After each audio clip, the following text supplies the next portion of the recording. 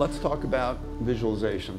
What's great about this product is most shows are being drafted and planned and designed in, uh, on a 3D platform anyway, AutoCAD, Vectorworks, 3D Studio Max. Then we take that 3D model and we can import it right into the media server. And the smaller window is the graphic user interface for the operator and the programmer. What's going on on the 3D interface is exactly what's going on live. You can take your content and see what it's going to look like in the environment. You can stake out your projector positions.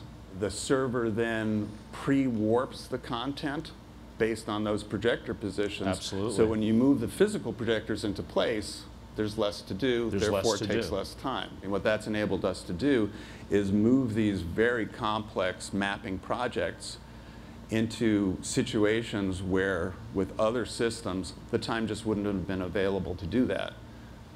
And a good example of that is the VW Golf launch. Because one of the things that was really impressive about this project is that the content for this project was created from scratch starting three weeks before the show. The reason why that was able to happen is because the content creator, Spinifex in Australia, runs the D3 platform in their studio. So they were able to create the content using whatever tools they needed, put that content in the D3 server platform, look at it, render it out so they could show the client in advance. And that reduced the time for approvals, it reduced the time for creation. And then when they showed up on show site, it was ready. Just one last example of the power of this platform. We did a show for Ralph Lauren. It was uh the launch of a new store as well as a new men's cologne. We had very little time to set up. We basically load into show three nights. If we had been doing warping and mapping with some of the other systems that you're familiar with, media server systems, it would have literally taken us days. Took Yeah. us eight hours.